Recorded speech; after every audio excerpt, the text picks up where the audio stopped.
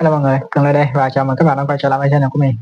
Thì hôm nay thì mình sẽ đi tới review một cuốn sách, một cuốn sách có tên là Tiền không mua được gì của tác giả Michael Sandel. Cuốn này thì tác giả Michael Sandel sẽ à, bàn luận về một cái vấn đề liên quan đến à, việc là những cái hàng hóa nào thì không nên đem ra để mua bán trao đổi. Thì à, ý tưởng của tác giả đó là cái việc nền kinh tế thị trường hiện tại á, thì nó đang đi vào từng cái ngóc ngách, đi vào mọi mặt trong cái cuộc sống của mình và nó đang biến cái cái xã hội hiện tại của mình trở thành một cái xã hội thị trường. Tức là mọi người mọi người cố gắng thay đổi đem tất cả mọi thứ trở thành mua bán. Thì cuốn sách này tác giả sẽ đưa ra những cái ví dụ những cái hiện tượng mà đang xảy ra hàng ngày trong cuộc sống chúng ta. Uhm, ví dụ như là cái uh, việc chúng ta xếp hàng đi. Ở sân bay thì các bạn nếu các bạn đi hạng uh, ờ, economic, economic ấy, thì các bạn sẽ thường là sẽ xếp hàng để mà được lên máy bay. Còn những người mà đi hạng thương gia thì sẽ được uh, đi thẳng vào mà không cần phải xếp hàng chẳng hạn thì ở đây là họ đang trả thêm nhiều tiền để có thể được ưu tiên hơn, mà không thay vì phải xếp hàng chung với chúng ta. Hay là một vài cái trường hợp khác, ví dụ như là việc ờ, ở Trung Quốc hay là một nước, một vài nước thì khi mà người ta muốn đi khám bệnh thì người ta phải xếp hàng để có thể lấy phiếu. Vì có một vài người sẽ dựa vào cái này để người ta có thể xếp hàng thay, người ta xếp hàng thay và người ta lấy được cái cái vé. Cái đó người ta dùng cái vé này để người ta bán lại cho những người bị bệnh. Thì những người bị bệnh người ta tới người ta không cần phải xếp hàng nữa thì uh, đây cũng là một trong những cái cái mà cái hiện tượng mà hiện tại đang đang xảy ra thường ngày cuộc sống chúng ta. Thì tác giả mới đặt ra một câu hỏi là uh, những cái điều này thực sự nó có có đúng hay không? Um, tất cả những cái việc mà chúng ta xếp hàng hay rồi chúng ta lấy cái vé xếp hàng đó chúng ta bán lại thì những cái vé này thực sự nó có nên là dùng để có thể mua bán được hay không? Thì uh, với tác giả thì thường những cái nhà kinh tế học cổ điển thì người ta sẽ nói về cái việc nào? Trong một cái thị trường kinh tế tự do thì cái việc trao đổi mua bán hàng hóa qua lại của mọi người thì nó sẽ sẽ không ảnh hưởng tới cái gọi là cái uh, bản chất của cái hàng hóa mình trao đổi. Tức là dù ví dụ bạn với mình đang trao đổi một mặt hàng ví dụ là một ổ bánh mì đi thì bản chất cái việc chúng ta trao đổi mua bán ổ bánh mì thì nó cũng cũng sẽ không có làm ảnh hưởng đến cái bản chất của bánh mì. Hay là cái việc chúng ta buôn bán bất động sản chẳng hạn thì cái việc chúng ta bán những ngôi nhà bán những cái miếng đất thì nó cũng sẽ không có làm thay thay đổi không có làm ảnh hưởng đến cái bản chất của cái miếng đất đó. Thì từ cái việc này thì tác giả đã tiếp tục đưa ra những cái ví dụ khác những ví dụ ví dụ như là cái việc mà ở một vài nước thì người ta có cái uh, việc đó là người ta trả tiền để người khác mang thai hộ. Tức là người ta không có muốn là mang thai mà người ta có thể trả tiền để một người khác mang thai hộ người ta. Uh, hay là ở một vài có một vài ý tưởng về cái việc mà hạn chế số lượng sinh con đó thì người ta đưa ra một cái vài ý tưởng ví dụ như là uh, phát cho mỗi người phụ nữ sẽ là một cái phiếu sinh con chẳng hạn. Thì uh, người phụ nữ nào không muốn sinh con thì có thể bán cái phiếu đó lại cho những cái người phụ nữ khác để người phụ nữ khác muốn sinh con thì có thể trả tiền để mua cái phiếu để mà được sinh con. Thì một vài ý tưởng về việc trao đổi hàng hóa này thì lúc này tác giả mới đưa ra những cái cái cái vấn đề đó là cái việc mua bán trao đổi này cảm giác như nó nó không có có được bình thường lắm và nó có một cái gì đó vi phạm đạo đức. Thì lúc này tác giả mới uh, phân tích về việc là những mặt hàng nào thì không nên trao đổi. Thì với tác giả thì ý tưởng cốt lõi của tác giả trong cuốn sách này thì đó là có hai cái vấn đề chúng ta cần xem xét để mà có thể biết được là có thể nhận định được là một cái mặt hàng là có nên trao đổi hay không. Thì hai cái cái vấn đề đó là thứ nhất đó là về tính công bằng. Và thứ hai là về cái việc trao đổi mua bán thì nó có ảnh hưởng tới cái sản phẩm hay không. Vấn đề đầu tiên về tính công bằng thì ví dụ như trường hợp đó là uh, một có một một tổ chức người ta trả tiền để những người phụ nữ bị nghiện nghiện ma túy người ta không có có sinh con được nữa. Cái lý do mà tổ chức này trả tiền để người phụ nữ không sinh con được nữa đó là những người phụ nữ nghiện ma túy thì thường khi họ đẻ con ra thì họ sẽ không có chăm sóc con được và cái việc này sẽ gây ra một cái gọi là gây ra gánh nặng cho xã hội. Thì uh, cái tổ chức này người ta trả tiền để uh, cho những người phụ nữ người mà tiếng người ta không thực hiện cam kết là không có sinh con được bằng một vài biện pháp thì cái việc này nó sẽ sẽ hạn chế cái việc mà gây ra gánh nặng cho xã hội hơn.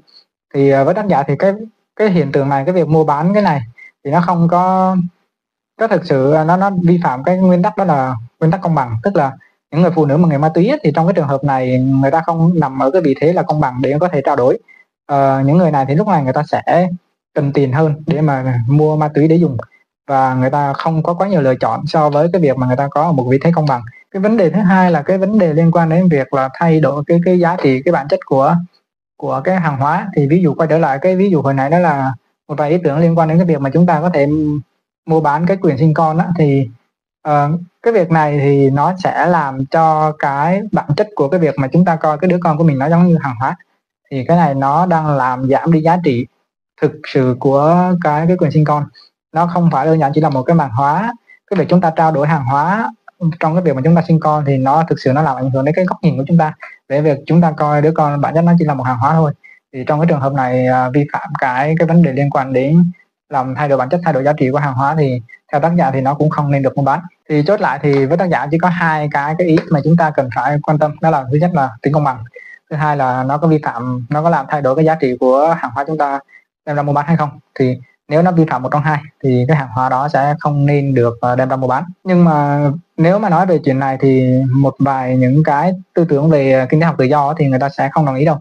Vì bản chất ờ, người ta cho rằng là cái việc mà chúng ta trao đổi mua bán hàng hóa thì nó bản chất là nó đem nó cân bằng được phúc lợi trong xã hội nó làm tăng phúc lợi xã hội. Tức là mọi người đều đi theo cái nhu cầu bản thân mình. Và cái việc chúng ta theo đuổi nhu cầu bản thân mình thì nó sẽ tạo ra một cái gọi là cái cái tăng về cái hiệu quả chung trong toàn bộ cộng đồng. À, giống như cái cái ví dụ hồi nãy thì những người nào mà muốn sinh con thì người ta có thể trả nhiều tiền hơn để uh, lấy được quyền nuôi con tức là người ta nhận được cái người ta cần. Còn những người không muốn sinh con thì người ta có thể trả tiền để người ta lấy được cái người ta cần đó chính là tiền. Thì cái việc mà trao đổi mua bán tự do này thì nó sẽ giúp làm tăng cái cái phúc lợi của xã hội lên. Thì đó là ý tưởng của những người um, gọi là theo chủ nghĩa kinh tế học tự do. Thì trong cái trường hợp này thì tác giả cũng có một cái ý tưởng đó là không phải lúc nào chúng ta đem mặt hàng ra trao đổi mua bán thì nó cũng sẽ tạo ra được một cái gọi là uh, tăng phúc lợi đâu. Thì ví dụ như trong trường hợp là một nhóm có một cái nhóm kia người ta thực hiện một cái cuộc thí nghiệm tức là người ta chia cái nhóm đó làm ba ba nhóm khác nhau. Uh, nhóm đầu tiên thì người ta sẽ kêu gọi nhóm đó là phải đi uh, gọi là thực hiện các việc quyên góp để có thể giúp đỡ người khác. Uh, cái nhóm thứ hai thì cũng cũng quyên góp để giúp đỡ người khác nhưng mà khi mà họ làm quyên góp thì họ sẽ nhận được một phần trăm hoa hồng. Và nhóm thứ ba là nhóm cũng làm tương tự nhưng mà sẽ nhận được 10 phần trăm hoa hồng. Thì sau đó thì kết quả đó là nhóm đầu tiên thì người ta đã đạt hiệu suất cao nhất. Tức là người ta không có hoa hồng gì cả nhưng người ta đạt cao nhất. Còn cái nhóm thứ hai thì là đã thấp nhất vì chỉ một phần trăm hoa hồng. Còn nhóm thứ ba thì đứng thứ nhì. Khi họ được 10 phần trăm hoa hồng thì họ sẽ cao hơn nhóm được một phần trăm hoa hồng nhưng mà họ thấp hơn rất nhiều so với nhóm mà không được đồng nào cả. Thì ở đây cái vấn đề xảy ra là gì? Đó là uh, khi chúng ta mà đưa tiền bạc vào thì nó đang đã làm làm giảm đi cái giá trị của cái việc chúng ta làm. Tức là cái vấn đề đạo đức khi mà chúng ta thực hiện cái việc quyên góp á, nó nó rất là cao. Và để mà thay thế bằng tiền bạc cho những cái vấn đề liên quan đến đạo đức này liên quan đến những cái cái tinh thần tự tôn này liên quan đến tinh thần dân tộc này những cái xuất phát từ bên trong bản thân mình nhá thì để mà đạt được một cái hiệu quả tương tự thì phải bỏ rất rất là nhiều tiền. Nhưng đối với tác giả là cái việc những cái thứ liên quan đến đạo đức đồ các kiểu á, mà chúng ta đem ra mua bán thì chưa chắc là nó đã đã làm tăng được cái phúc lợi xã hội mà đôi khi nó còn làm giảm nữa. Thì ví dụ như trong trường hợp vừa rồi mình nói thì hầu hết những cái kiến thức mà trong cuốn sách này là những cái ví dụ mà tác giả nói về ờ, những cái hiện tượng mà vẫn diễn ra trong cuộc sống hàng ngày. Và tác giả đã phân tích là cái những cái việc đó thì có nên mua bán bằng tiền hay không? Nhìn chung về cuốn sách này thì mình nghĩ nó sẽ phù hợp cho những bạn mà có kiến thức nền về kinh tế rồi. Các bạn hiểu rõ về kinh tế học cơ điển hiểu rõ về kinh tế học tự do rồi. Và các bạn muốn uh, có một góc nhìn mới về việc là những cái kiến thức về kinh tế học tự do nó uh, vi phạm những cái điều gì nó nó ảnh hưởng đến cái điều gì trong những cái vấn đề liên quan đến đạo đức và liệu có có mặt hàng nào mà chúng ta không nên trao đổi mua bán theo kinh tế học tự do hay không? Đó, những cái mặt hàng nào khi trao đổi mua bán theo kinh tế học tự do thì nó sẽ làm ảnh hưởng đến nó hay không thì có thể đọc cuốn sách này.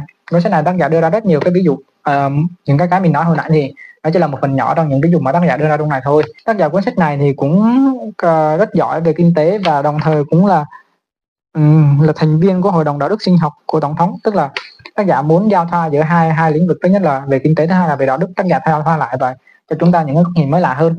Nhất là về cái cái việc mà kinh tế học tự do nó không nên áp dụng vào những mảng nào. Thì uh, cuốn sách này nó sẽ giúp các bạn tìm hiểu về vấn đề đó. Rồi tổng kết lại thì về cuốn sách này đó là tác giả bàn luận về cái việc mà những cái uh, yếu tố của kinh tế thị trường nó đang ảnh hưởng tới xã hội và biến xã hội thành một xã hội thị trường như thế nào. Và liệu chúng ta có một cái giới hạn đạo đức nào uh, cho cái việc mà xâm nhập của nền kinh tế thị trường vào xã hội chúng ta hay không? Thì uh, đó chính là nội dung chính của cuốn sách này. Ok đó là những review nhanh của mình về cuốn tiền không mua được gì, mua tác giả Michael Sandel. Bạn nào có hứng à, tìm hiểu những cái kiến thức liên quan đến cuốn sách này thì có thể định mua nó. Ok, cảm ơn các bạn đã xem và hẹn gặp lại các bạn trong những video tiếp theo.